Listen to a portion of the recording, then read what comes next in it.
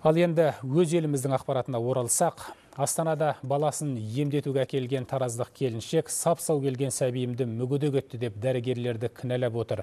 Медбекелерді баламның аяғына катетерді дұрыс салмады деп айыптайды.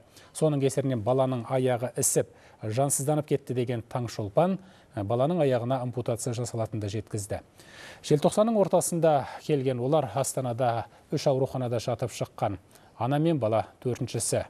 Бұған не себеп? Оқиғаның мән жайын тілшіміз Сәуле Алдамұратқызы айтып берсін.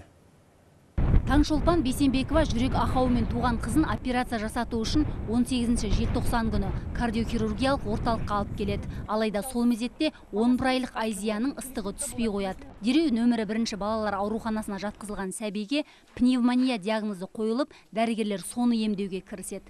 Қиындық сол кезден басталды дейді келіншек аяғы ісік болды аяғында көгерген уже көгерген болды. Жеті күннен кейін аяғында қараю басталды. Қараю басталғаннан кейін олар бізді екінші қалалық балалар ауруханасына жіберді. Олар кешіктіріп жіберді бізді. Баламның жағдайы өте нашар болды. Бүткіл жерінде катетер тек қана зондпен тамақ ішеді дәрігерлер таңшолпанның айыптауына келіспейді. Себебі дәрежесі ауыр жүрек ақауы бар айзия мамандардың қатаң бақылауында болған. Катетердің қою техникасы катетерді күту бәрі уақытында дұрыс жүргізілген. Катетр қоймаған өзінде ол тромбтың түзілуі мүмкін.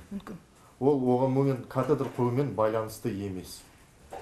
Ол иә жүрек ақауы бар адамдарда ол кез келген уақытта кез келген жерде түзілуі мүмкін. Қазір сәби ана мен бала орталығының жансақтау бөлімінде жатыр. Дәрігерлер баланың өмірін сақтап қалу үшін қолымыздан келгенді жасап жатырмыз дейді. Ісігі азайды кішкене қан тамырлары ашылған сияқты жылу пайда болды. Әлі тұжырымдап бәрі жақсы болып кетеді бәрі жаман болады деп айту өте қиын. Бірақ қолдан келгеннің барлығын жасап жатырмыз. Сол жаңағы кішкентай оң нәтижеге біз қуанып жатырмыз.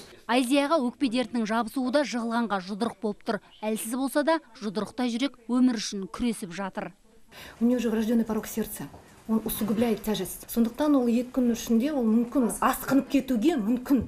Вот сондықтан әрине ол асқынып кеткеннен кейін сондай жағдайдың өзінде ота жасауға болмайды.